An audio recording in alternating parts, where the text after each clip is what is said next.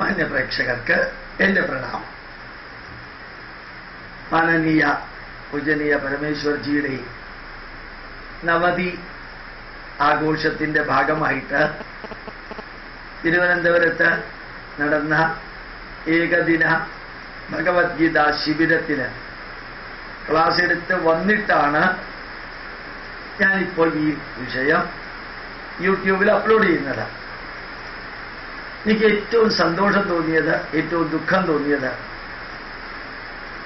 നമ്മുടെ നമ്മുടെ സംഘത്തിലെ വിശ്വ ഹിന്ദു പരിഷത്തിലെ ക്ഷേത്ര സംരക്ഷണ സമിതിയുടെ എ ബി വി പിയുടെ ബി എം എസിന്റെ ഇവരുടെ എല്ലാ പരിപാടികൾ ഞാൻ മറ്റ് മതത്തിന്റെയും പോവാറുണ്ട് മറ്റ് രാഷ്ട്രീയ പാർട്ടിക്കാരുടെയും പോവാറുണ്ട് എൻ എസ് എസിന്റെ പോവാറുണ്ട് എസ് എൻ ഡി പിയുടെ പോവാറുണ്ട് എല്ലാത്തിനും പോവാറുണ്ട്. ഇത് ഞാനൊന്ന് എടുത്തു പറയാണ് ഇവരുടെ പരിപാടിയിൽ കണ്ടിരിക്കുന്ന ഒരു പ്രത്യേകത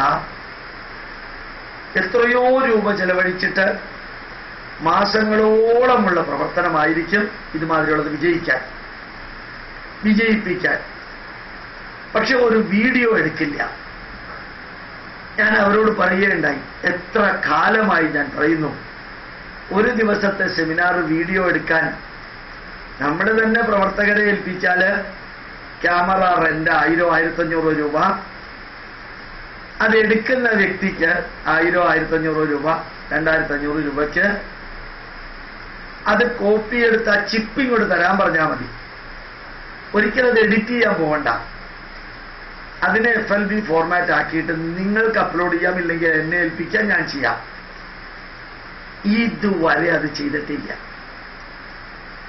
ഇത്രയും ധന്യമായിട്ട് മൂന്നാൽ പേര് ഓ രാജഗോപാൽ ഉൾപ്പെടെ പ്രഭാഷണം നടത്തിയപ്പോ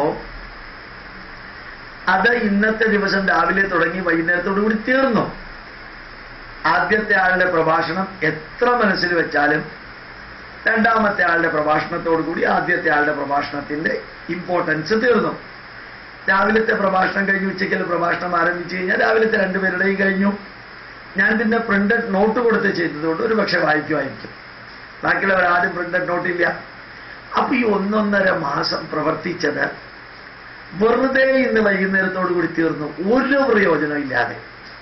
നേരെ മറിച്ച് അത് വീഡിയോ എടുത്തിട്ട് എഫ് എൽ വി ഫോർമാറ്റ് ആക്കിയിട്ട് യൂട്യൂബിലോ ഫേസ് പേജിലോ അപ്ലോഡ് ചെയ്തിരുന്നു എങ്കിൽ വരും കാലങ്ങളിലും മുഴുവനും അത് ഏത് ലോകത്തിലെ ഏത് ജനഹിതയ്ക്കും പ്രയോജനപ്പെടുന്ന രീതിയിൽ ഉപയോഗിക്കാമായിരുന്നു. അത് അവരുടെ തലയിൽ കയറണില്ല അതാണ് എനിക്ക് ഏറ്റവും വേദനാജനകമായിട്ട് തോന്നാറുള്ളത്. നശീകരണ ശക്തികൾ നശിപ്പിക്കാൻ വേണ്ടി എന്തൊക്കെ ചെയ്യുമ്പോഴും സംരക്ഷണ ശക്തികൾക്ക് ഇന്നുള്ള ഈ ഇലക്ട്രോണിക് മീഡിയ സോഷ്യൽ മീഡിയ ഉപയോഗിക്കാൻ ഇത്രയും വിവരമുള്ളവർക്ക് എന്തുകൊണ്ട് സാധിക്കണില്ല? ഞാൻ അവരോട് പറയുകയുണ്ടായി. ഉദാഹരണം പറയുന്നത് ഉദയഭാരതം ഗ്രൂപ്പുകാര് ചിദാനന്ദപുരി സ്വാമിയുടെ പ്രഭാഷണം പതിമൂന്ന് മണിക്കൂർ കൊണ്ട് നാല് ലക്ഷത്തി അറുപതിനായിരം പേർക്ക് എത്തിച്ചു. വേറെ ഏതോ പ്രഭാഷണം രണ്ട് പോയിന്റ് മൂന്ന് ദശലക്ഷം പേർക്ക് എത്തിച്ചു. അക്ഷയതൃതിയെക്കുറിച്ച് ഞാൻ പറയുന്ന വിഷയം ആറോ എട്ടോ മണിക്കൂർ കൊണ്ട് മൂന്ന് ലക്ഷം പേരെ എത്തിച്ചു. അപ്പൊ നമ്മളുടെ ഈ പ്രഭാഷണങ്ങളെല്ലാം ഇത്രയും അധികം ധന്യമായിട്ടുള്ളത് ലോകം മുഴുവനും എത്തിക്കാൻ ലക്ഷക്കണക്കിന് രൂപ മുടക്കിയിട്ട് ഒരു ദിവസത്തെ സെമിനാർ നടത്തിയവർക്ക് ഒരു അയ്യായിരോ രണ്ടായിരോ മൂവായിരോ രൂപ മുടക്കിയിട്ട് ഒരു വീഡിയോ എടുത്തിട്ട് അത് യൂട്യൂബിൽ അപ്ലോഡ് ചെയ്തൂടെ? എനിക്ക് വളരെ വേദന തോന്നി. അതെല്ലാം കഴിഞ്ഞപ്പോ ഒരു വയസ്സൻ കാർന്നവർ എന്റെ അടുത്ത് വന്നിട്ട് ഞാൻ കണ്ടിട്ടില്ല അദ്ദേഹത്തിനെ. ഗോപാലകൃഷ്ണൻ ഭാരതീയ വിചാര കേന്ദ്രത്തിന്റെ ഇലക്ട്രോണിക് മീഡിയയുടെ ചാർജ് എടുക്കാൻ തയ്യാറാണോ? ഞാൻ അദ്ദേഹം ചോദിച്ച ചോദ്യത്തിന് മറുപടിയേ പറഞ്ഞില്ല. അശോക് കുമാർ ജിയുണ്ട് അദ്ദേഹം നിങ്ങളെ സഹായിക്കും. അപ്പുറത്ത് ഒന്ന് രണ്ട് പേരെയും കൂടി ഞാൻ ഞാൻ വേണമെങ്കിൽ വിട്ടുതരാം. എനിക്ക് ചോദിക്കണം തോന്നി. താൻ ആരാ? മുഖ്യമന്ത്രിയാ. താൻ ആരാ ഇവിടുത്തെ ഡി ജി പിയാ? ഞാൻ വിട്ടുതരാന്ന് പറയാൻ ഇന്ന് വരെ കാണാത്തൊരു മനുഷ്യൻ കയറി വന്നിട്ട് ആയിരത്തി തൊള്ളായിരത്തി എൺപത്തിരണ്ട് വിജയദശമി മുതൽക്ക് വിചാര കേന്ദ്രത്തിൽ പ്രവർത്തിക്കുന്ന അതുമായിട്ട് ബന്ധമുള്ള ഒരു വ്യക്തിയും കൂടിയാണ് ഞാൻ. അപ്പൊ ഇത്രയും കാലമായിട്ട് നിങ്ങളൊക്കെ എവിടെയായിരുന്നു ചോദിക്കണം തോന്നി. പിന്നെ എനിക്ക് വലിയൊരു തോന്നലുണ്ടായി. കാരണം ആവശ്യമില്ലാത്ത കമന്റ് പറഞ്ഞിട്ട് പിന്നെ അതിനെക്കുറിച്ച് വേദനിക്കുന്നതിന് പകരം മിണ്ടാതിരിക്കട്ടെ. വേറൊരാൾ വന്ന് പറഞ്ഞു നമുക്ക് സംസ്കൃതം പഠിക്കണം. എവിടെയാ പഠിക്കുക എനിക്ക് അറിഞ്ഞുകൂടാ അപ്പുറത്തെ രണ്ട് സ്ഥലത്ത് ബാത്റൂം ഉണ്ട്. അവിടെയുള്ള ആരോടെങ്കിലും ഉണ്ടെങ്കിൽ ചോദിക്കാൻ പറഞ്ഞു.